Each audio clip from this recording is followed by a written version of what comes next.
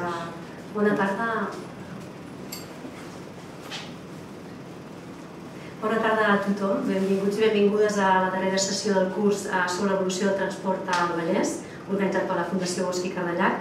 Aquest curs, com sabeu, ha constat un total de 7 sessions al llarg dels mesos d'octubre i novembre, sent conscients de la importància de l'època que vivim marcada pel moviment global de persones i mercaderies, i curs ha volgut fer aquesta mirada al passat, al present i avui en una possible projecció de futur eh, que ens permeti entendre el moment en el que estem en aquesta matèria.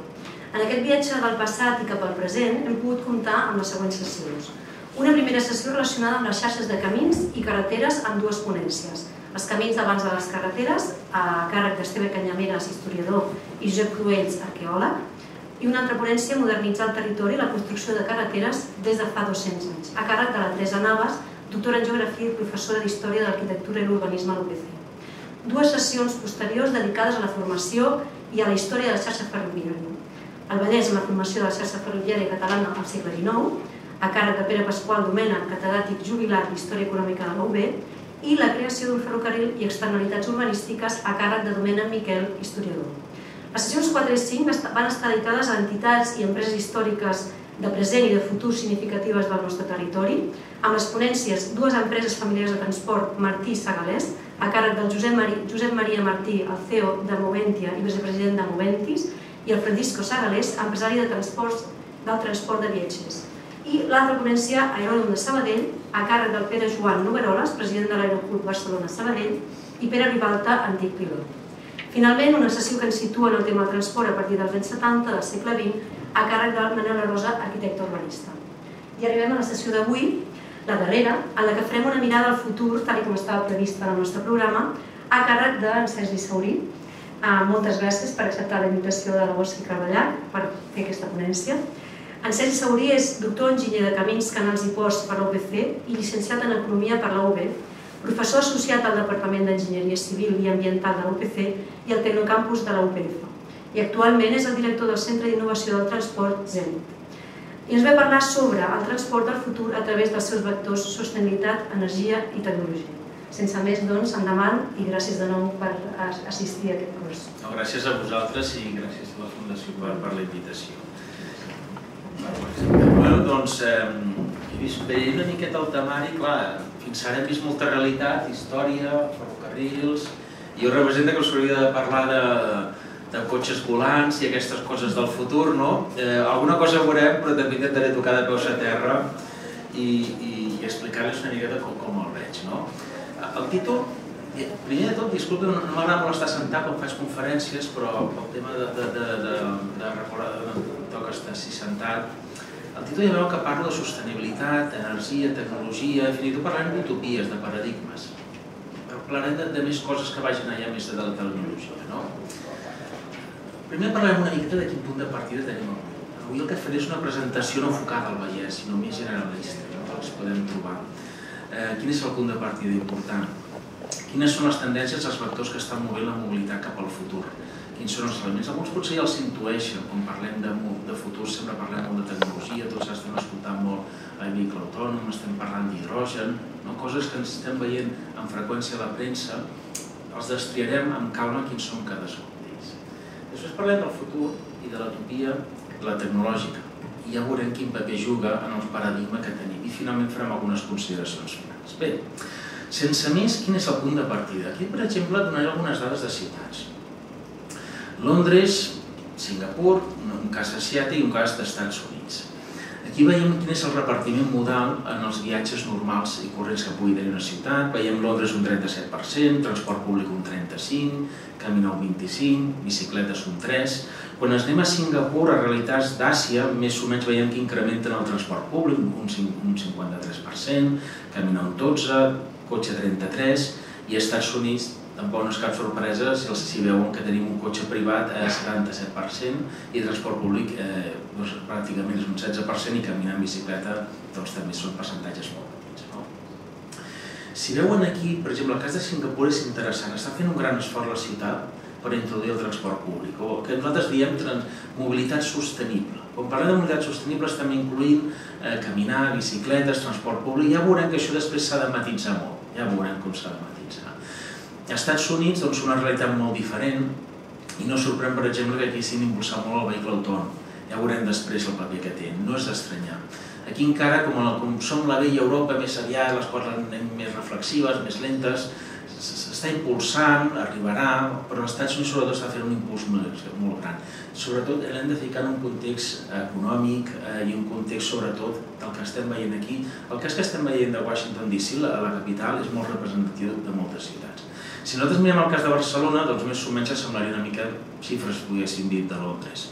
39% en cotxe, transport públic 17, caminant 42, perquè al final és una ciutat petita, si la comparem a Londres té sentit la xifra, i en bicicleta és un 2%. No?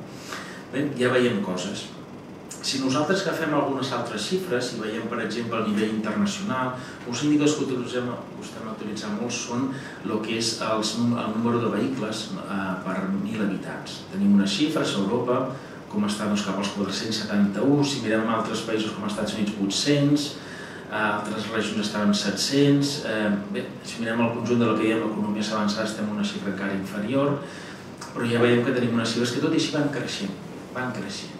Bé, tot això que nosaltres estem tan familiaritzats a veure en cotxes, quins problemes tenim i quina és la disjuntiva que ens trobem avui en dia en el transport. Suposo que si vam mirant en premsa les notícies de mobilitat veuran que es parla molt de mobilitat sostenible, s'ha d'impulsar el transport públic, etc etc. No? Al final, la realitat que tenim són aquestes nosaltres mirem emissions, per exemple, el 29% de les emissions procedeixen del transport. És a dir, quan nosaltres abordem temes de canvi climàtic, i sobretot el tema de les emissions, trobem que si nosaltres hem de començar a mirar tots els sectors, un percentatge, el segon més important seria el transport, l'hem d'abordar, no hi ha més. Algunes dades més per il·lustrar-ho, que aquest problema encara va més. Va més. Per exemple, si mirem des del 2015, el 75% de la població viu en ciutats, per tant, s'acrecentarà. Sempre es parla molt de les, de les sinergies de les ciutats, de les economies d'escala, de l'aglomeració, cada cop les ciutats són més grans, hi ha sinergies, van millor per l'economia, però també tenim importants economies d'escala. Una d'elles, per exemple, és quan parlem del tema de les emissions. Eh, I després, no, algunes xifres doncs, també internacionals. És a dir, quan hem d'abordar aquest tema, doncs, eh, quan volem abordar el tema de la sostenibilitat, quan volem abordar el tema del canvi climàtic, de com reduir emissions, un dels punts crítics al final és treballar amb el tema de les emissions. Al final estem parlant d'això. He posat una ciutat xinesa com podria posar perfectament Barcelona i altres ciutats. Perfectament. Eh? Això és el que tenim. De fet, recentment han sortit bastants estudis publicats de metges sobre els efectes que tenen la pol·lució, sobretot sobre el creixement de, de, dels nens, els creixements cognitius, i té uns efectes científicament demostrats i palpables, i això doncs, al final també doncs, no només té una factura sobre la salut de la gent, sinó també sobre els efectes econòmics. Aquí, per exemple, quan mirem Barcelona, doncs, també no... Aquí, per exemple, tenim, suposo que ja coneixeran que Barcelona tenim uns límits de de, de pol·lució per damunt de recomanacions de l'Organització Internacional de la Salut. Per tant, és un problema al final que el punt de partida és que tenim un model que ara mateix que no ens funciona. Si el projectem a futur, no ens funciona el que tenim ara. Jo dic pel següent, quan nosaltres abordem la mobilitat del futur, la tendència natural és primer partint de la situació actual i sempre tots tenim tendència a agafar la cosa no, el que tenim ara i projectar-la al futur. No ens funciona el. Ja, ja estem veient hi ha algunes coses. No? Més dades. Eh, per exemple, nosaltres cada any l'Autoritat de Transport Metropolità fa un exercici. A vegades, com a economistes, hi ha una cosa una miqueta complicada, que és valorar les externalitats no, del transport. Què vol dir les externalitats? Al final, quan nosaltres conduïm, quan nosaltres, qualsevol moda de transport per sobre del cotxe, generem un, un cost que no és assumit directament pel qui condueix, però sí que generem a la societat. De què estem parlant? Estem parlant d'increment de probabilitat d'accidents, estem parlant d'increment de la pol·lució, estem parlant d'increment del temps de viatge i per tant de la congestió. Bé, tot això hi ha unes metodologies que del punt de vista econòmic es poden quantificar. Té les seves simplificacions i no els hi negaré que al final eh, no són números perfectes, però sí que ens donen una idea de l'ordre magnitud. Aquí, per exemple, quan fem aquests exercicis com accidents, hem de ser capaços de posar un valor la vida humana. No? Imaginin i en molts cops quan hem de fer aquest tipus d'exercicis ens trobem en discussions d'aquest tipus, com nosaltres valorem la vida humana, com nosaltres valorem eh, el fet que una persona quedi ferida, com pot afectar. No? Bé, de punt de vista econòmic hem seguit de metodologies i les mirem i tot això estem parlant d'una factura de gairebé 3.000 milions d'euros l'any a la regió metropolitana de Barcelona només. És a dir, des del punt de vista ja només econòmic, tenim un cost amb el transport elevadíssim. elevadíssim no? Per tant, tenim un model, al dia d'avui, doncs, que tenim unes carències que ja veurem doncs, que són significatives i rellevants si volem projectar a futur. Bé, què és el que fem avui en dia per millorar el transport? Quines són els instruments? De fet, tenim diversos tipus d'instruments. No? Uns instruments que diem més econòmics, preus, és a dir, treballem amb el preu. Per exemple, un exemple molt clar són les stratificacions d'aparcaments, molt exteses doncs, de la nostra geografia. A vegades ajudes als vehicles elèctrics, a vegades estem parlant del peatge urbà, s'ha discutit molt, hi ha països que ja porten anys aplicant-lo, Singapur des del 1975, Londres a principis dels 2000, eh, Estocolm... Bueno, aquí s'ha parlat molt, ha hagut molt el debat d'introduir a Barcelona, sempre no és fàcil, sobretot en un escenari que venim de reducció dels peatges, però és un instrument que està que el tenim. Després hi ha restriccions, és a dir, en lloc de tarifar el que anem a fer és restringir les coses, zones de baixes emissions. Al final és un instrument de dir, escolti, si vostè un cotxe que considerem que contamini, no passi en aquesta zona. Restriccions d'aparcament, optimització memfòrica, una combinació i després doncs, alguns que simplement el que vol, pretenen és millorar la tecnologia, com encara fomentar els vehicles elèctrics, alguns el que pretenen és redistribuir horàriament com anem, altres volen simplement que ens redirigim d'una altra manera per optimitzar les rutes i altres que el que pretén és un canvi modal. No? Al final, això són el conjunt de coses o d'iniciatives doncs, que, que, hi ha en tot el marc. No?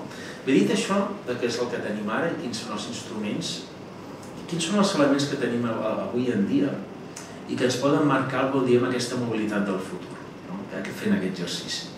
Bé, Quines són les tendències que tenim? De, de fet, quan parlem de mobilitat, tenim moltes tendències, perquè al final la mobilitat l'hem d'inscriure en un entorn econòmic, un entorn social, un entorn geogràfic, és a dir, no la podem fer abstracte i aïllar. I al final tenim un conjunt d'elements que, que tenen una incidència clara, directa sobre el que és la mobilitat. Estem parlant d'elements demogràfics, energia, societat, economia, tecnologia, tots ells d'alguna manera estan tenint una incidència molt important sobre la mobilitat. Anem a veure alguns d'ells. No?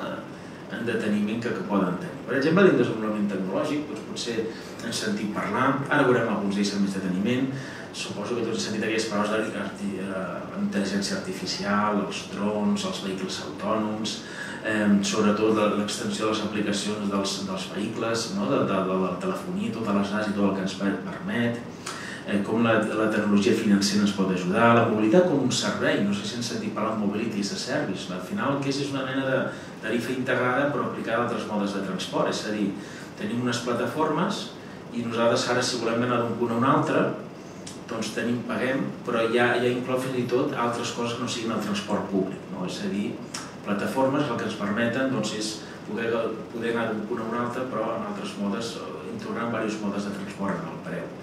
Eh, I altres optimitzacions semafòriques. Després tenim el canvi climàtic important, és a dir, està tenint sobretot una incidència molt significativa a l'hora de marcar les polítiques que tenim, de com fomentar la mobilitat més sostenible, l'extensió dels vehicles elèctrics, hidrogen.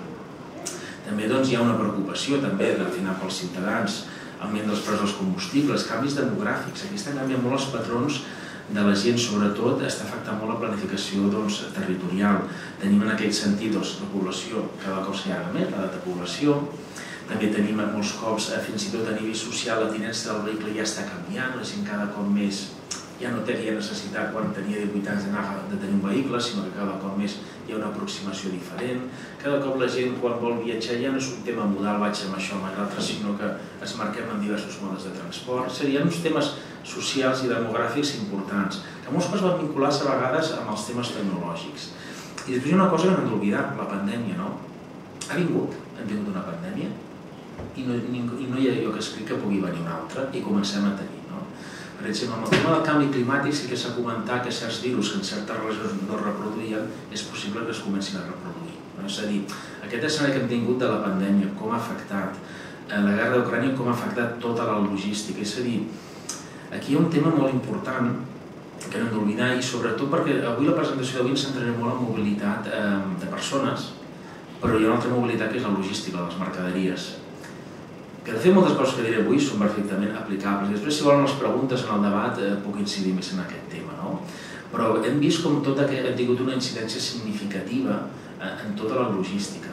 com hem vist com els ports s'han col·lapsat, hem vist fins i tot en alguns establiments que faltaven productes, algunes indústries que han hagut de parar la producció, és a dir, coses que potser donaven per descomptat que funcionaven bé, doncs hem vist que no han funcionat.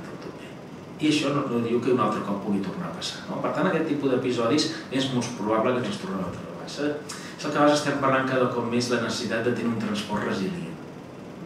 Això és fàcil de dir, portar-ho a la pràctica té una complicació que encara al dia d'avui no ens n'han sortit del tot. Bé, quines altres tendències tenim? Per exemple, el tecnològic. Jo crec que aquí són, potser és interessant, després parlaré d'aquest tema, com sempre hem tingut una tendència a associar desenvolupament amb tecnologia. És una tendència que sempre tenim. Quan parlem de desenvolupament tecnològic, quines tendències hi ha o quins elements estan en el mercat que estan marcant molt el transport? La robòtica, el vehicle autònom i els drons. Clar, estem parlant del dia de demà, que imagini's, si, si, si fixen bé, ja els diré una estona, no en un cas, la connectivitat entre la infraestructura i els vehicles, l'increment de la intel·ligència artificial. Què és això al final? Bueno, al final el que es tracta és de tenir dades i de tenir algoritmes més intel·ligents, sistemes més intel·ligents. Al final es tracta d'això. És a dir, al final la intel·ligència artificial és un d'aquests plantejaments matemàtics el que ens permeten és, amb totes les dades que anem recopilant, d'alguna manera les nostres màquines fer-les que pensin millor. Es tracta simplement d'això. Eh? Al final hi ha moltes tècniques, molt ser complicades, però al final, per entendre'ns, el que es tracta és de dotar-les de més intel·ligència. I és això el que ens està permetent. Els, els telèfons intel·ligents, el que seria el, el, la mobilitat digital, el mobility accessible, com com dèiem, plataformes on es poden integrar molts modes de transport, els sensors, tots aquests elements posats damunt del transport és el que ens està possibilitat, per exemple, el desenvolupament dels vehicles autònoms, l'optimització de les operacions, que cada cop més, per exemple, tots els semàfors puguin estar optimitzats, és a dir, que puguem anar que, per exemple, si nosaltres estem venint cap aquí en cotxe, ens puguin dir quins són els aparcaments on podem estar i com està. És a dir, al final tot això que ens permet és optimitzar el sistema. És un sector que ha entrat amb molta força, amb molta força des de fa anys, i realment estem revolucionant bastant el que és la, la mobilitat urbana. Ja veurem que tots aquests com incideixen al final. Estan incidint en, en coses que no ens estan canviant el paradigma, sinó que coses que fa anys pensàvem que podrien ser així, ens ho estan permetent. Hi ha un exemple molt clar, que és, per exemple, la tarificació. La, la tarificació de carretera és el peatge legal. De fet, els fonaments estan escrits des de fa 100 anys. Des de fa 100 anys. Des del punt de vista econòmic, diríem, doncs, eh, en funció del cost marginal social. Què vol dir això? Doncs, per entendre's, la Unió Europea s'interessa una molt senzilla. Qui contamina paga. No? Tant contamina, tant paga. És a dir, des d'un punt de vista ideal, que seria ideal que nosaltres paguéssim una tarificació en funció doncs, de la contaminació que fem, que això dependria de la distància, del tipus de vehicle, etc. Fins ara no teníem la tecnologia, ara la tenim. Però insisteixo, els fonaments i les solucions les tenim abans, des de fa 100 anys formulades. Però ara tots aquests avanços tecnològics ens permeten optimitzar el sistema que tenim ara, eh, el que tenim ara. Bé, eh, i després, sobretot, hi ha hagut una revolució en temes d'energia, s'està produint tota una transició energètica. Hem vist, ja fa anys que estem dient que el fuel doncs, té un límit, però bueno, estem tirant doncs, del gas liquat, l'elèctric, l'hidrogen, hi ha molta incertesa sobre aquest tema encara, molt desenvolupaments, hi ha molt per fer encara, molta incertesa. De fet, les administracions animen molt a les empreses a adquirir vehicles eh, que diuen ambientalment més sostenibles. Quin és el problema que es troben les empreses? S'han de fer grans inversions, per exemple, un autobús elèctric pot costar cap al milió d'euros, un convencional 300.000. No? Però clar, el problema és que es fan grans inversions i molts cops hi ha incertesa sobre si la normativa canviarà, si tindrem prou punts de subministrament, quan són autobusos doncs més o menys és més o menys fàcil perquè molts cops són per autobusos per serveis urbans, per tant ja estan planejats, però molts cops hi ha aquesta incertesa. Per tant, actualment hi ha en el mercat unes tecnologies d'energia que s'estan desenvolupant però amb uns escenaris d'incertesa en els punts de recàrrega, en la normativa necessària, amb la pròpia tecnologia que, doncs, que fa difícil aquesta presa de decisions. Van entrant.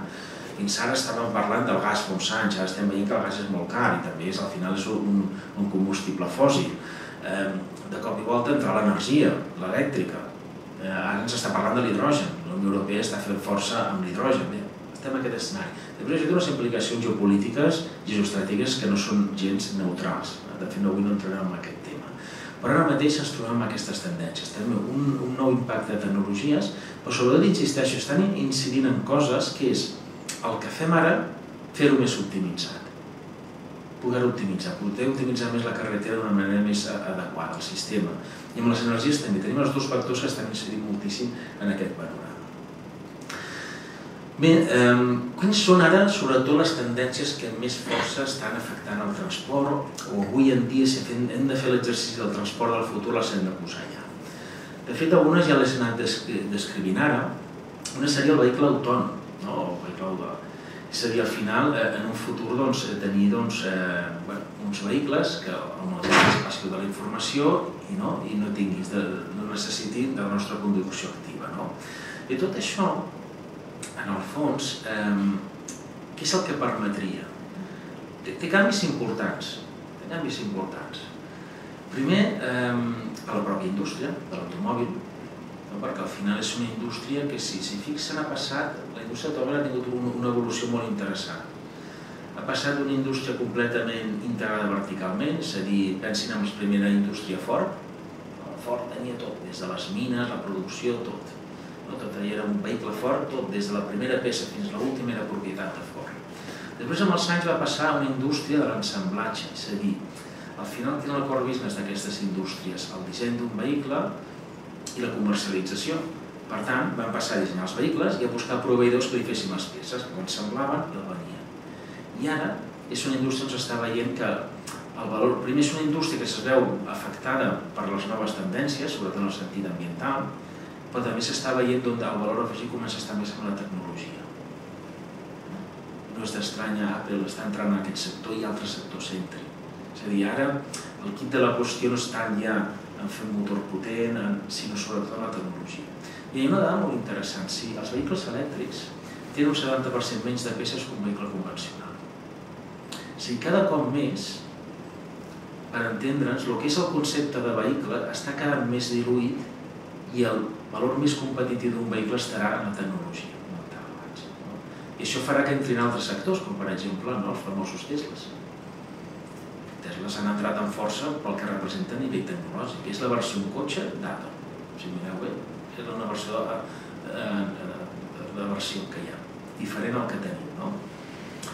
Després tenim el vehicle autònom, connectat. Això sobretot és una indústria doncs, que genera moltes dades. Totes aquestes dades que generi permetran segurament donar molts de serveis a la mobilitat. Si nosaltres ara som eh, un una administració encarregada de gestionar la mobilitat, tenim tots els cotxes i totes les dades de com s'estan movent. Som capaços de gestionar-los, és a dir, pensin, per exemple, si els vehicles són autònoms, doncs permetrà tenir més ús de la capacitat. Per exemple, molts cops, quan eh, les capacitats, les distàncies entre vehicles, no? quan els vehicles van molt ràpid, si es els vehicles van lent podem anar més a prop un de l'altre. No? Per tant, si agafem un quilòmetre de, de carril, tenim més densitat. No? Podem a mesura que anem més ràpid, aquesta distància entre els vehicles és més inestable, més percepció d'inseguretat i comença a ser més irregular. Per tant, reduïm la capacitat de la carretera.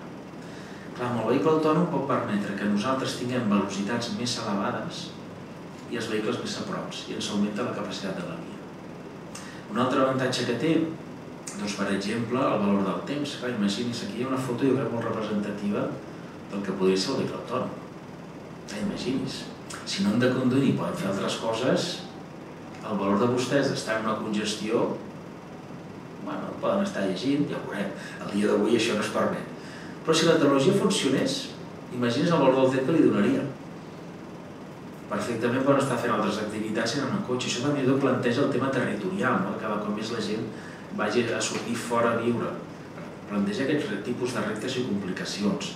Després, evidentment, hi ha temes eh, d'estandardització de productes, hi ha temes de, sobretot de temes ètics, és a dir, l'algoritme com el si tens una persona, no, si hi ha, hi ha probabilitat d'un accident, davant tens una persona davant, un cotxe, no? quin tipus de dilemes, com entrenem els algoritmes, és a dir, hi ha encara molts temps, però la tecnologia està desenvolupant-se moltíssim, és a dir, és una tecnologia que de fet està entrant ja, el que passa en el procés de transició entre els vehicles normals, convencionals i els autònoms trigarà encara bastant fins que plenament s'implementi. Ja veurem, eh? per això si s'implementarà plenament, però estan anant molta força. Això no està ganant més força, doncs pot imaginar als Estats Units. Per què? Perquè és que no tenen una altra. Tenen ciutats dimensionades, eh, eh, concebudes després del vehicle. Llavors, clar, passar d'un model, com hem vist, per exemple, a Washington, que és una ciutat relativament còmoda de caminar, relativament, i en transport públic, a, a passar a un model on, on pràcticament és que no, no és impensable, sinó bàsicament són ciutats on ja el disseny de la ciutat, la concepció dels carrers, com s'ha extès, tot està pensat amb el vehicle. Per tant, canviar de model en aquests països és una... Molts cops penso que al final és córrer cap endavant, una fugida cap endavant. Han apostat per aquest model i, i estan apostant moltíssim per tota aquesta implementació d'aquesta tecnologia. Ja veurem si fins a on podrem arribar, però realment no tenen una altra alternativa de la manera que tenen concebuda les ciutats. I després també, sobretot, una, una, una energia disruptiva que agafa molta força és l'elèctrica, no? els vehicles elèctrics. Com deia, tenen canvis importants perquè això ens planteja, primer, és veritat que no tenen pol·lució, però a algun lloc es produeix l'energia. Compte, no? Vull dir, això al final ja veurem ara quan parlem més d'utopies i paradigmes que al final tot això per a la indústria automòbil és perfecte, és a dir, tenim un problema que contaminem, res, vehicles elèctrics, tenim un problema amb la capacitat d'accidents, res, els fem els autònoms, eh, però clar, tot, això té una cadena de valor, tot això també genera, s'ha de produir una energia, té un cost energètic. Temes que planteja també l'elèctrica, parla del cost energètic, també de la logística, també que després ja parlarem també d'altres temes, no? però també un altre tema dels punts de recàrrega hem d'extendre, és a dir, dins de les ciutats pot funcionar bé, però que anem a fora de la ciutat estem tenint problemes, és a dir, la conversió. I després hi ha un altre tema interessant, que és el tema dels vehicles compartits. No? És a dir, són si els quatre pilars, ACES, no? metodologia del banc i una de desenvolupament, que, que estan ara eh, agafant moltes disrupcions. O sigui, totes les tendències que ha van entorn a aquestes tres grans punts. El tema dels vehicles compartits, quina és la idea semi-lògica, diu, bueno, si, si nosaltres mirem, anem un dia qualsevol, aquí, qualsevol carretera, i mirem al matí els cotxes i la majoria van una persona. Més o menys la mitja que tenim és 1,20 i alguna és a dir, bàsicament una persona. Tant en tant algú, dos, tres, però no més. Em veu això, lògic, sembla que fomentem la, la, els vehicles compartits. Clar, quin problema hi ha? Doncs al final per compartir vehicles eh, hi ha un cost important doncs, que la gent es posi d'acord, que coincideixin les hores. Tradicionalment és una fórmula que no ha acabat de funcionar bé. Ja es va començar al seu dia als Estats Units i reticències, però sí que és veritat que amb, el, amb els canvis dels vehicles autònoms hi ha qui diu, bueno, potser amb vehicle autònom eh, sí que és possible no? que un vehicle vagi autònomament buscant i després també en un entorn d'una economia col·laborativa també ho afavoreix. Llavors també sí que s'està treballant molt el tema de la, de la mobilitat compartida, no? el compartir coses. Quan dic compartir en el sentit ampli, també a vegades doncs, la bicicleta, no? el sharing, és a dir, jo per exemple perquè vull tenir un vehicle, si el necessito poc un vehicle, doncs que tingui a disposició el vehicle quan el vull. Això seria l'ideal. Jo avui he vingut en cotxe, no? El dia a dia és transport públic. Doncs, bueno, si utilitzo el cotxe un cop a la setmana, per què no llogar-lo aquell dia? Per això vol dir que tingui eh, un accés fàcil, econòmic, que tenim recorregut. No? Però sí que en aquest tema s'està, són els tres pilars en els quals, no? els, tres, els quatre pilars en els quals està descansant ara totes les tendències de al dia d'avui. Bé, eh, aquí tenim un exemple, tampoc no vull ser ara exhaustiu, però sí una mica doncs, tenim les tendències doncs, del Covid, desenvolupament tecnològic i com estan impactant en cada una de les aquestes grans tecnologies. No? En verd vol dir que és un impacte positiu, l'afavoreix, i en vermell doncs, és negatiu. Bueno, ja veiem que no, la majoria de les tendències van afavorir o empenyen per entendre's encara més l'adopció d'aquest tipus doncs, de grans tecnologies. És la tendència que anem veient. No?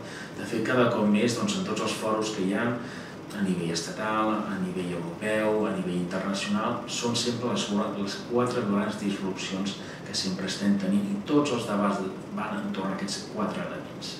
Si mirem altres modes de transport, per exemple, eh, doncs també ja, ja veiem que ja no, ja no afavoreix tant, sobretot aquí la, la part més crítica, bueno, diré que no passi gaire el temps, la, part més crítica, bueno, el vehicle de combustió doncs, ja, ja ens va bé, que no, però un vehicle de transport públic doncs, siguin algunes tendències que van en contra, els drons no tant, els vehicles de micromobilitat, doncs, un l'hiperloop, doncs, eh, ja, una mica, ja és una miqueta més difós, però sobretot doncs, les quatre veiem com abans les quatre les, grans eh, tendències que afectaven positivament els, els quatre elements que comentàvem abans.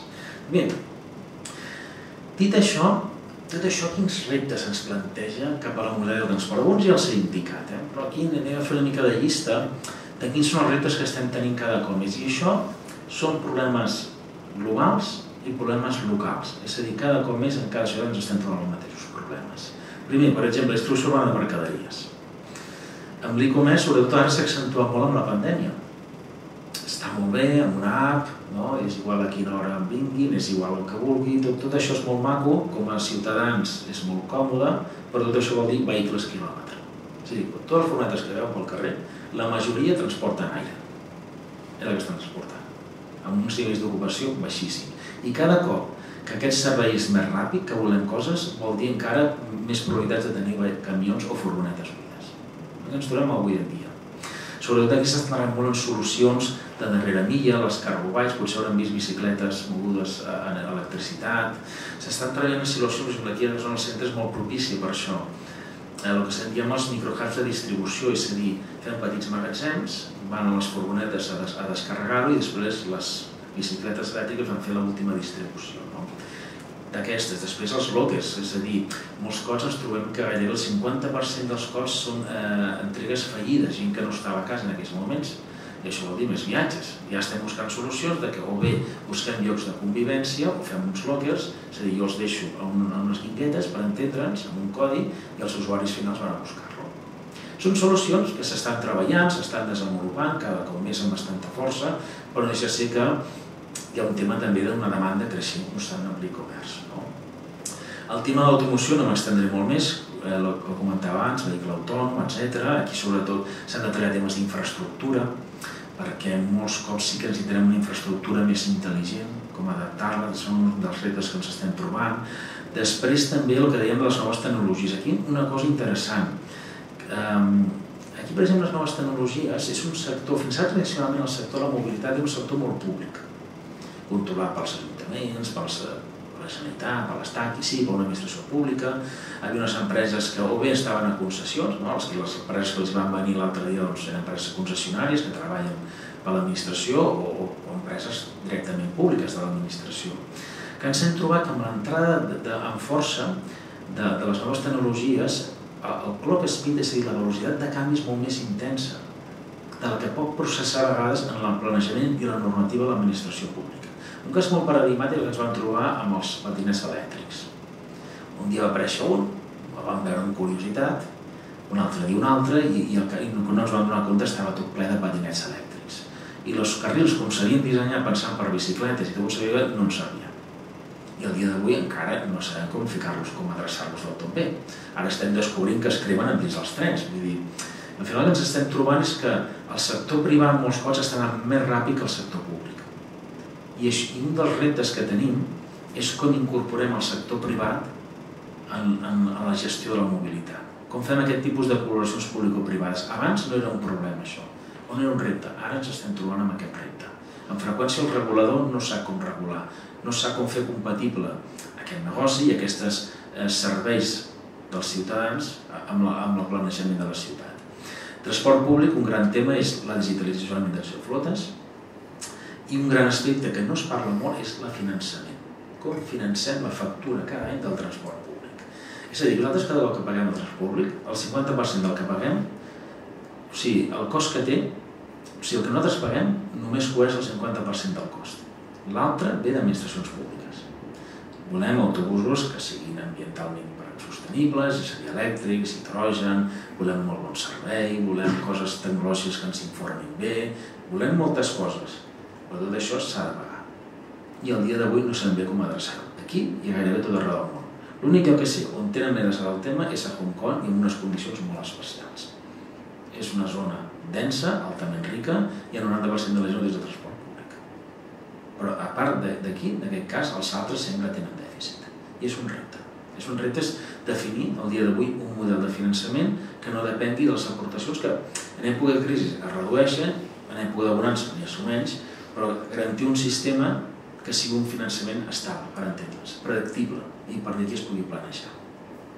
Altres elements que tenim, doncs el que detectàvem l'energia, no? com adaptar noves formes d'energia a, a la mobilitat. Tot això són reptes que estem tenint en el planejament al dia d'avui. I, I alguns d'ells més o menys s'estan adreçant bé i d'altres no, no se sap molt bé del tot com adreçar-los. No? I dit tot això, quina, quins serien una miqueta els, és a dir, què podem preveure el futur? No? Doncs sempre aquests són exercicis difícils de fer. Eh, sí, entrem en aquest tema.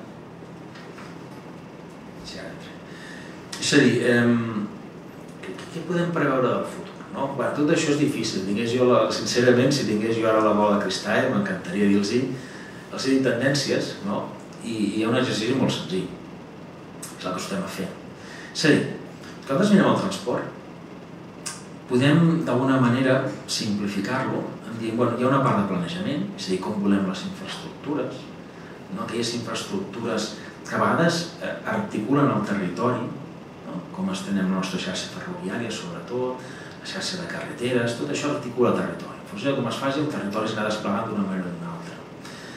Això té uns actius, la infraestructura, eh, els autobusos, els trens, etc, les tecnologies, i després com ho explotem, les freqüències que donem de servei, quins horaris fiquem, quins preus... Aquests són els elements que componen el sistema de transport, en un sentit molt ampli, de multimodal, etc. I tot això s'entorna amb un paradigma. Aquest paradigma, doncs, per entendre'ns, seria molt relacionat amb com nosaltres visionem a la societat. El, el transport en mobilitat, al final, l'hem d'enquadrar com nosaltres visionem la societat, com nosaltres creiem que ha de ser una ciutat, un país. No seria una cosa amb l'altra nosaltres, per exemple, si mirem fotos de la Mariana Barcelona fa 60 anys, dels anys 60, tenien 4 o 5 carrers d'entrada.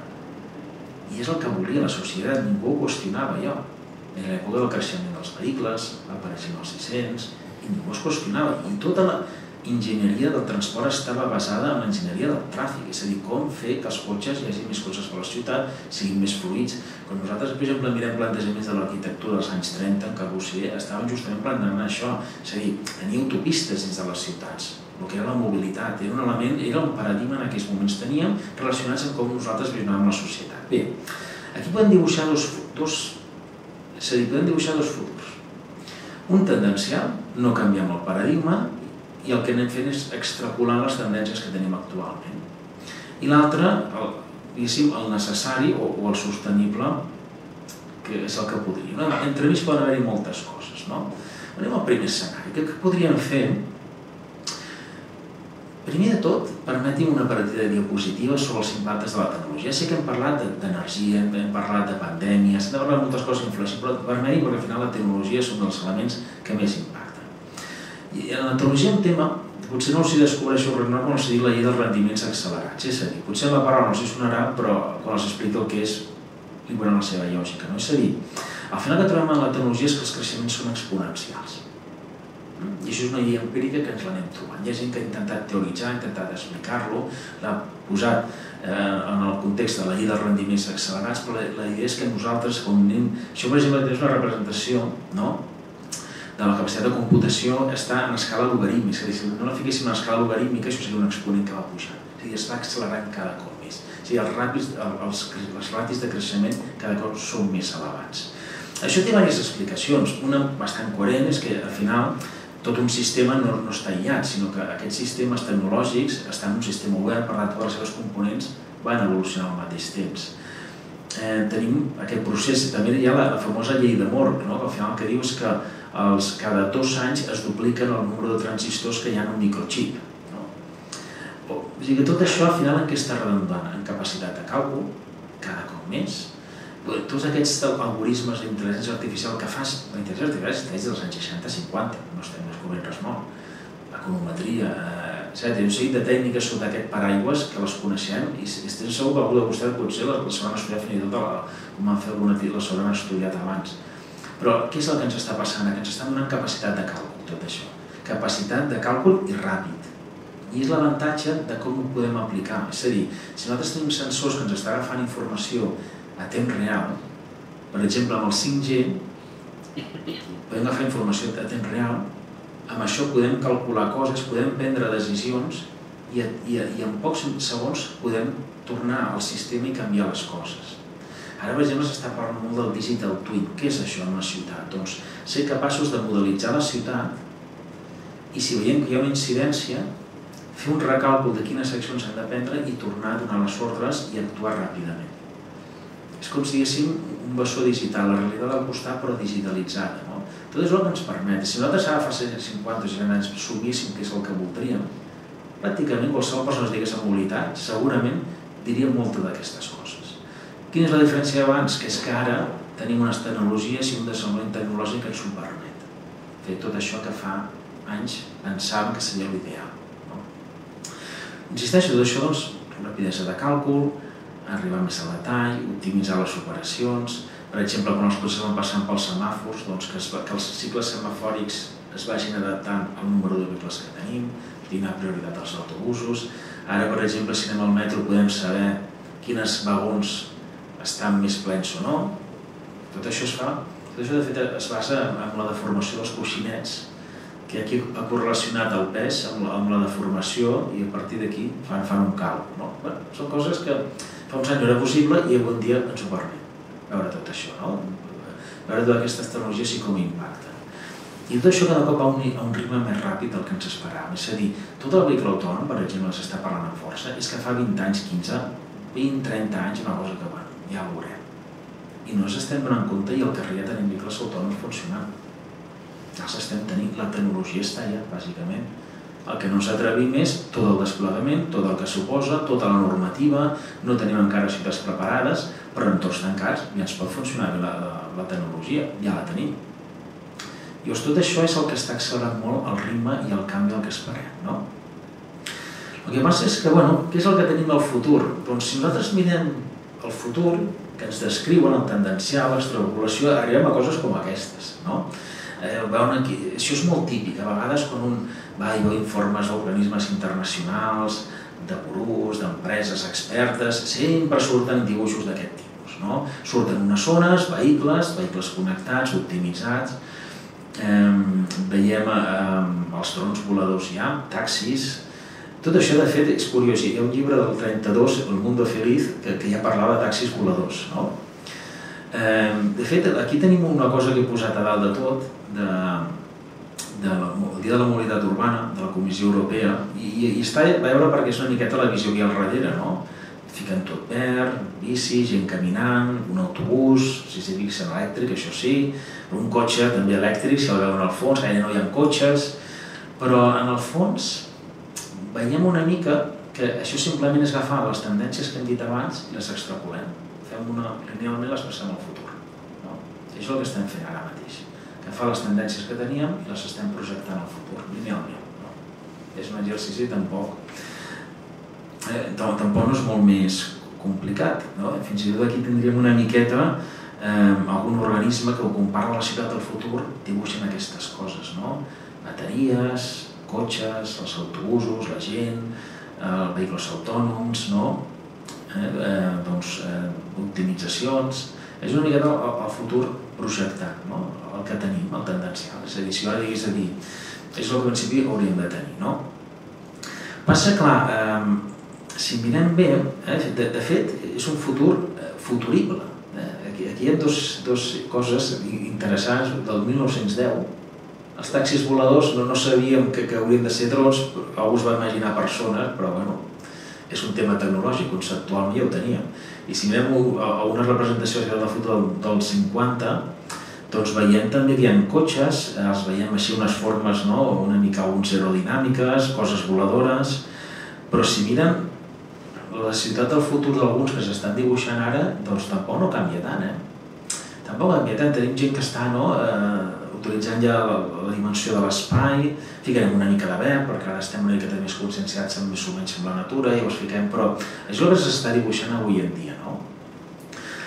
Llavors, quan quan veiem aquest dibuix del futur, o que alguns, o, o, o la projecció tendencial que hi ha avui en dia, hi ha un seguit de qüestions que també agradaria per una certa reflexió. No? Sigui, us podria haver fet una conferència parlant de tots aquests temes tecnològics, les meravelles tecnològiques, però també, si mirem, com els deia al principi, la mobilitat té una incidència, s'ha d'inscriure en context econòmics, social, geogràfic, tot això té les seves conseqüències també. No? Per exemple, la Unió Europea i si fixen, és el que dibuix una mica. Eh, això és l'estratègia de mobilitat sostenible i intel·ligent de la Unió Europea per, eh, pels pròxims anys, del 2030, el 35 i el 50. Es baixen tres pilars. sostenibilitat, smart mobility, quan dius smart mobility estem parlant sempre de tecnologia, smart s'ha de veure els smart associat a Després hi ha els conceptes de, de permetin la paraula, l'expressió smart stupidity, eh? quan no s'aplica amb intel·ligència és smart, però clar, tema tecnològic és smart, però estupidesa l'aplicació. Eh? Compte que, que vagi una fina línia entre una cosa i l'altra. I després la mobilitat resilient, com que ja canvi planet, anem a ficar-li resilient. No? Mirin les previsions del futur que ens espera els propers anys. Jo als 50 doncs ja entenc que ja m'agafa la jubilació, eh, els meus fills són els que no sé si es dedicaran a això no, però és el panorama que es trobarien. I llavors, al 30 tindrem uns cotxes de zero emissions per la carretera, 30 milions de cotxes, encara tindrem, zero emissions, però clar, l'energia surt d'algun lloc. Tindrem 100 ciutats eh, neutres climàticament, hem de veure, sistema ferroviari sobretot, es vol potenciar, viatges col·lectius programats, mobilitat automatitzada, vehicles autònoms, vaixells amb zero emissions, bueno, a Europa segurament que sí, però els que, els que naveguin per Europa, perquè si no navegaran per altres continents, no hi ha problema. És a dir, no dubto dels europeus, ara bé, de saber quants d'aquests vaixells aniran per Europa. No? Això serà per veure, no? El 2035 ja incloïm els avions i el 2050 tots els vehicles furgonetes seran zero emissions al transport ferroviari. És a dir, el programa que ens espera els propers 20 anys, bàsicament, 30 anys, és projectar el que tenim ara. I això és el que dibuixa la Comissió Europea. No hi ha més. És a dir, agafin el que tenim ara, els quatre factors disruptius i els projectem a 30 anys. 30 anys, a mi ja m'agafarà la jubilació, els meus fills justament si tot toca, toca acabarà la carrera i bueno, doncs es trobarà el mateix panorama que he deixat jo. Vull dir que bàsicament un dia podríem fer una conferència i gairebé els parlaria del mateix que estic parlant jo els propers 30 anys. No? Quins riscos hi ha d'això? Primer, les cadenes de, de valor. Aquí és una cosa que no es parla gaire. És a dir, el problema que hi ha quan ens dibuixem aquest món del futur és que a vegades ignorem és a dir, està formulat molt des de la visió del transport, però ignorem tota la cadena de valor. És a dir, des de l'extracció, no? aquí tindríem doncs, el coure, el sicili, magnesi, cobalt, liti, eh, tota la fabricació que hi ha, tot l'ús, la infraestructura, i després què fem amb aquestes bateries? Perquè és que avui en dia no sabem què fer amb elles. No? És a dir, eh, veiem doncs, que aquí no hi ha uns efectes que no estan inclosos en l'equació i això podríem parlar de molts, i de les implicacions fins a nivell geopolític, geoestratègic. Um, sí que hi ha estudis fets d'algun organisme internacional uh, en tema de mineria, que, que hi ha dubtes sobre els jaciments, sembla que Europa pot tenir, sembla que no, um, hi ha la possibilitat, però és un element que tenim damunt la taula. Eh? Vull dir, estem parlant d'un un futur d'una unitat sostenible, diem, bueno, sí, si agafem només concepte vehicle, concepte transport és sostenible. Si mirem a nivell global de sostenible ja, ja tenim molts deures per fer encara. Un altre element interessant, per exemple, també doncs, contàvem no? eh, el que és lo, lo que, les bateries elèctriques, no? el tema de l'extracció, aquí tenen doncs, també no? De tots els minerals, els vehicles elèctrics que es requereixen, no? i d'on venen aquests minerals, de quines zones veiem, això evidentment no tindrà efectes importants insistim, no? eh, sobre els subministraments, segurament potser algun moment doncs, eh, pot haver-hi... Al final són recursos limitats, aquesta és la realitat, i unes reserves doncs, que tindran uns efectes segurament geopolítics importants i geoestratègics. Però això és el que ens trobem, és a dir, d'alguna manera el que estem veient és que estem transformant, és a dir, estem solucionant uns problemes però després tindrem unes altres vulnerabilitats que sorgeixen. No? Un altre element important és el canvi climàtic. Molts cops a vegades l'ignorem, però el transport té les seves conseqüències. I, i de fet aquí bueno, tenim una zona, ens fa bastant de sol encara, però per exemple quan un va al Carib és un repte, és un repte. Veurem coses que, perquè ja cada, cada cop estan tenint més incidències climatològiques, el nivell del mar cada cop, és a dir, cada cop més cada, pocs anys han de fer grans inversions en infraestructures que han quedat destrossades per un event climàtic i altres països els està passant coses semblants. Aquí tenim efectes sobre el, el comerç, les infraestructures, no? Eh, sobretot el risc sobre la distribució de, de la cadena logística, tot el que hem vist de la pandèmia, eh, ara és la segona pandèmia. Pot ser un huracà a un altre lloc del Carib, pot ser eh, algun problema, un tsunami a Àsia, pot ser, etc etc. No? I cada cop més les cadenes logístiques estan fent més vulnerables. eh, les disrupcions que hi ha també doncs, en les cadenes logístiques, etc. No? Per exemple, doncs, aquest tipus de situacions que ens estem trobant. Ara un dels reptes que hi ha sobretot en, el, quan fem enginyeria del transport és saber adreçar aquest tipus de coses, cada cop més. Cada cop més, per exemple, amb els ports ens estem trobant com dissenyar-los perquè siguin capaços de suportar o als aeroports situacions d'aquestes. Abans passava cada X temps, es tanca, no passa res per un temps, però ara ja no ens podem permetre com a societat o a vegades l'economia tenir doncs, en tanta freqüència aquest tipus d'events. I s'han de pensar, en els temes és com fem que les nostres infraestructures de manera siguin resilients, que davant d'un efecte disruptiu puguin adaptar-se ràpidament.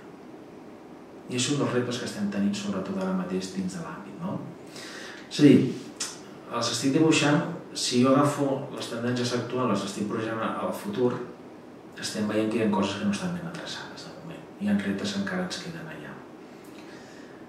Eh, després un altre tema és l'energia com a recurs escàs. Hi ha una cosa que a vegades s'obvia molt, i és òbvia, que és que és, és, és, és el, el, la simbiosi o el, el tàndem entre la, la mobilitat i l'energia.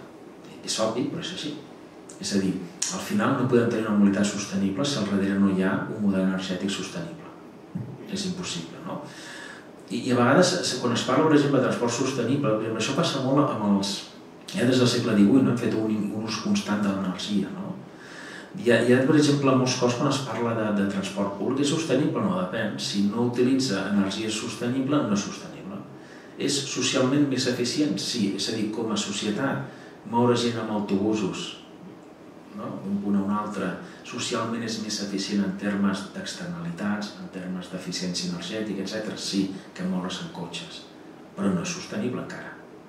Encara no som capaços perquè no hi ha un model energètic sostenible al darrere. És a dir, el que vinc a dir una mica és que no estem parlant d'una mobilitat sostenible, al fons no ho és. I no sabem aquesta qüestió com resoldre el dia d'avui diem la solució màgica, però, però el seguim, que és... Per tant, com tot aquest dibuix que hem fet del futur, de la Comissió Europea, per exemple, que parlava d'aquestes fases, no és una mobilitat sostenible. És el millor que podem fer amb el model actual, res més. I segurament amb els avanços tecnològics ens permetrà, segurament, per exemple, amb els avanços tecnològics permetrà millorar l'eficiència de les bateries, per tant, recórrer més quilòmetres a nivell, a mateix nivell de consum energètic.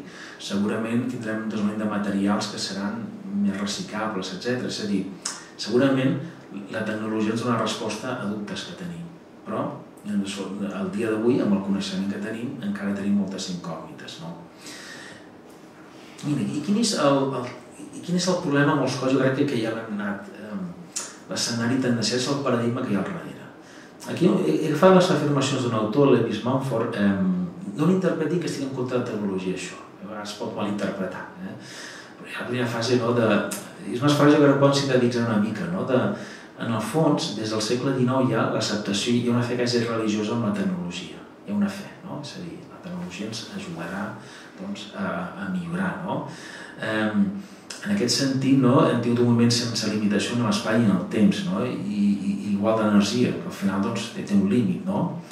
O, o, el progrés, tal com es va definir amb la cultura de la màquina, del progrés, doncs més, és més un moviment cap endavant i la marxa és, és la meta al final. No? És a dir, al, al final tenim una set fega gairebé religiosa, és, és un acte religiós, sí, mira, en què la tecnologia ho resoldrà tot.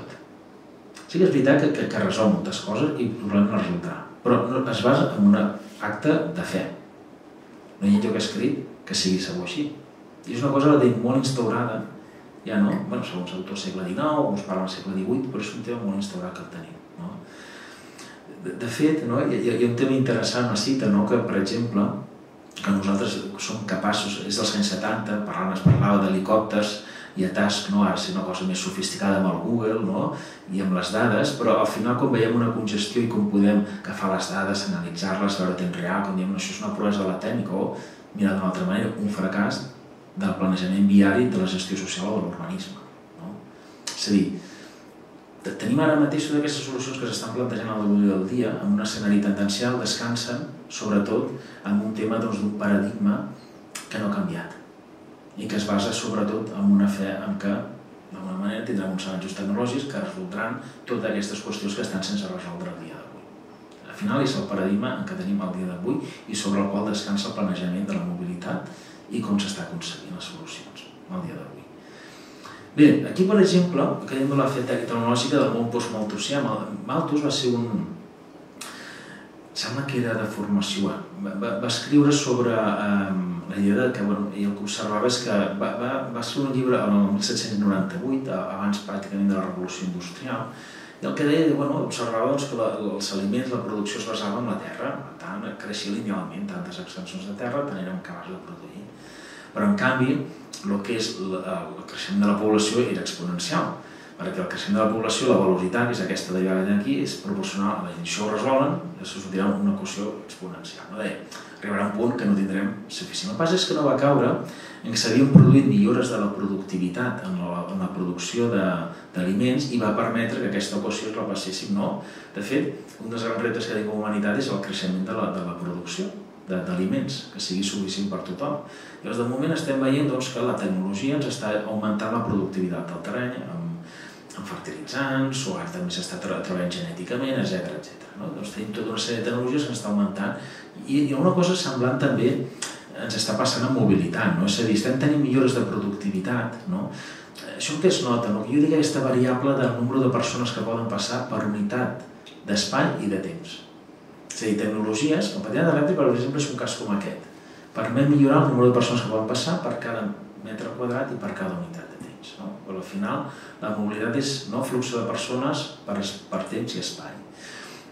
I aquests sobretot són els reptes que bueno, fins al dia d'avui no, hem tingut doncs, que inicialment tenim una fase de cotxes ja estem en una fase no, doncs, d'introduir altres elements que potser sí que ens permetrà, no?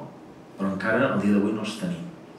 En aquest sentit sí que veurem segurament com conceptes com el vehicle es redefinirà. El patinet elèctric al final és l'expressió de mínima d'un vehicle. I segurament potser algun dia tindrem conceptes de vehicles modulars que es vagin adaptant segons el dia, no? És a dir, si necessites el cotxe més gran, el puguis fer. Encara, però conceptualment, algun dia potser podrem trobar no, que hi haurà una reenginyeria del concepte de vehicle, com una altra nova via actualment que tenim de millora de les noves tecnologies. Són aspectes que, bueno, reptes que n'hi ha, però no deixa ser que no sabem si tot aquest desenvolupament tecnològic serà suficient no? Per poder donar resposta als reptes que encara es plantegen la mobilitat de la manera inconcebuda al dia Bé, si mirem el, alguna miqueta una síntesi, no? aquest escenari tendencial, eh, no m'extenc molt més, al final què és? És agafar el paradigma d'abans, que ens ha portat a la situació de, amb malgrat que amb els abans, però d'alguna manera el que estem provocant és que tots els elements d'externalitats els estem passant a altres modes. O sigui, el que hem fet des del món del transport és dir, bueno, quin problema tenim? Els cotxes contaminen? Cap problema, els farem elèctrics. Què tenim? Que hem de mirar la capacitat? Els farem autònoms i mirem la capacitat, l'espai del temps... Sigui, si es fixen, totes aquestes tecnologies disruptives estan responent als problemes que tenen la indústria del vehicle. Eh, quin problema hi ha? Que ocupa molt? Bueno, doncs farem altres tecnologies semblants, no? Però tot això estem adreçant entre cometes la mobilitat amb el mateix paradigma, però estem, hi ha tot un seguit d'externalitats que les estem passant a altres modes, que altres sectors no? com dèiem, les bateries, tot, la, tot el tema de la producció, la postproducció, és a dir, que estem fent amb aquest paradigma actual i amb el dibuix que ens, que ens estem dibuixant a nivell europeu i d'altres institucions és agafar el model actual, és a dir, el model actual, reduïm les estacionalitats, el que és en si la mobilitat, però les creem o les traslladem a altres àmbits.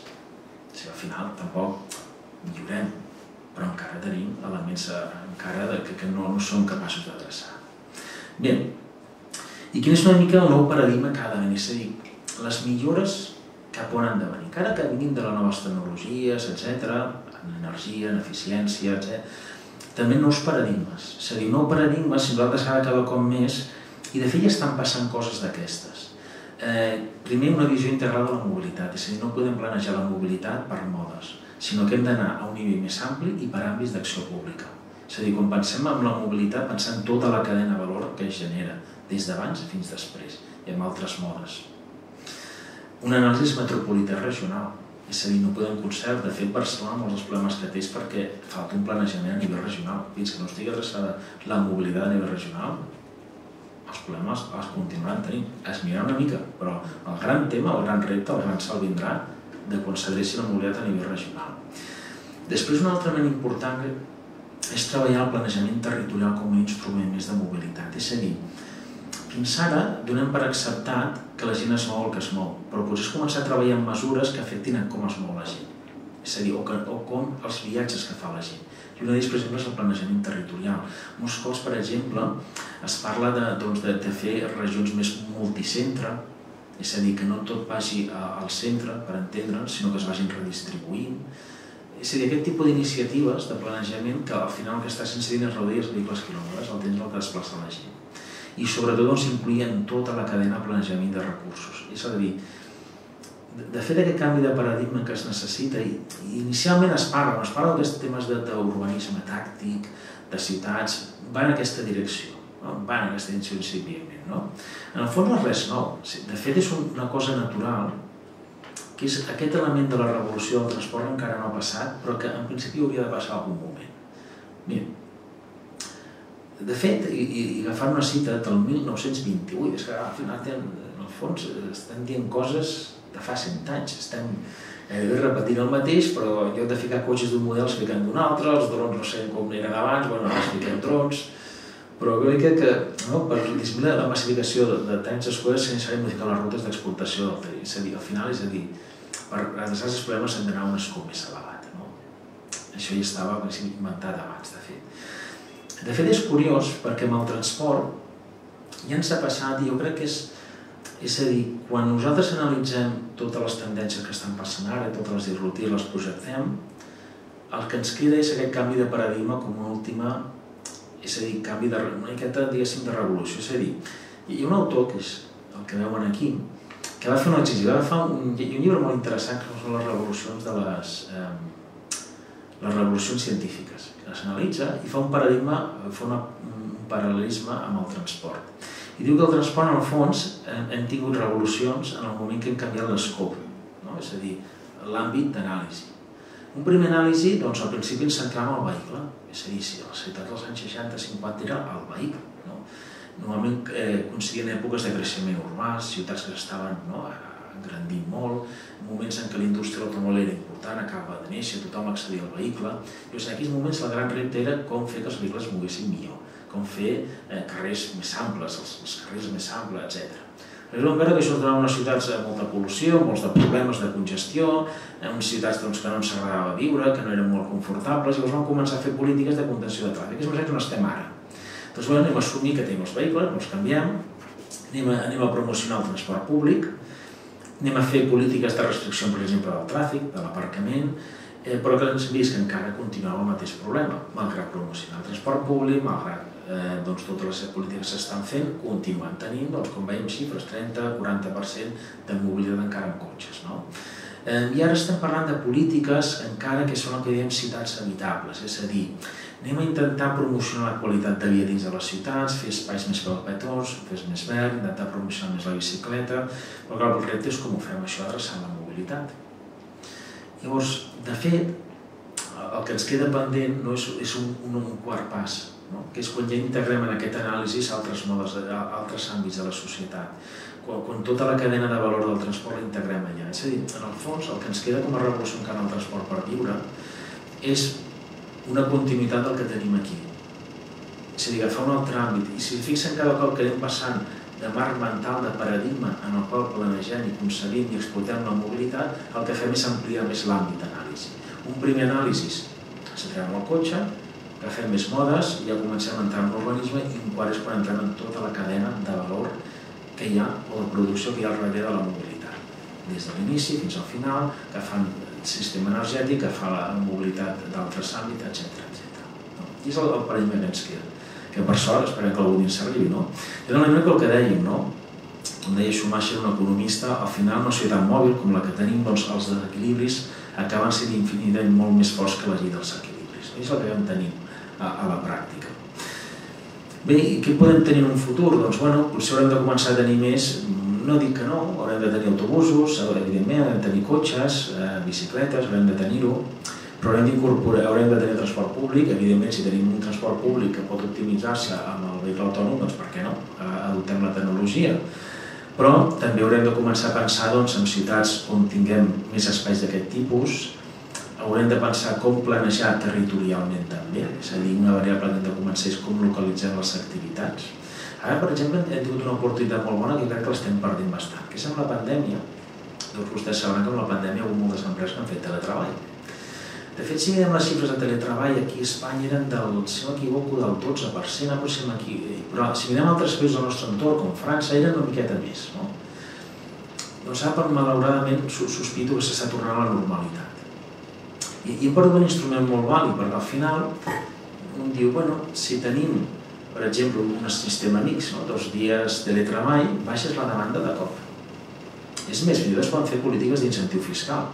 Com que a nivell de transport tenim uns estalvis, perquè, per exemple, dos dies la gent no viatja, doncs aquests estalvis es poden quantificar en termes d'externalitats i es poden traduir en reduccions fiscals amb algunes empreses, per exemple, algunes persones. No? És a dir, que fins i tot es podria ser un bon instrument de polítiques, no? però hem perdut l'oportunitat, sospita, no? i això no s'ha consolidat.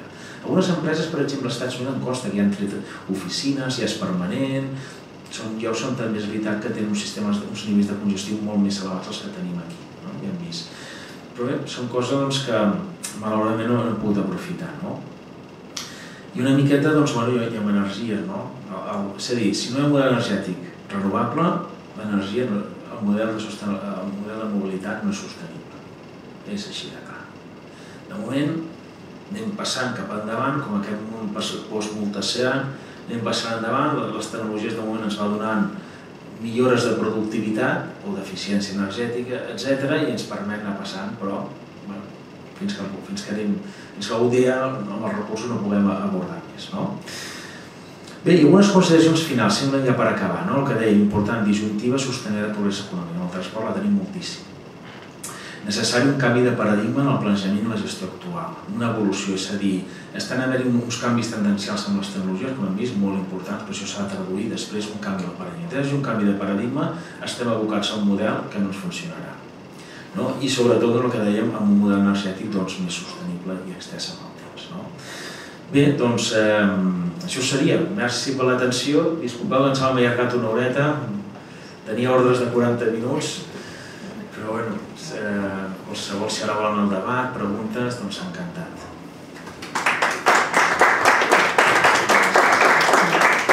Moltes gràcies, Sergi. No passa res perquè hagis allargat. Ah, moltes gràcies per presentar-nos aquest marc de present futur i has anat al passat per al futur i ha sigut molt curiós també. I aquests paradigmes. Doncs, si us sembla, passem a fer preguntes.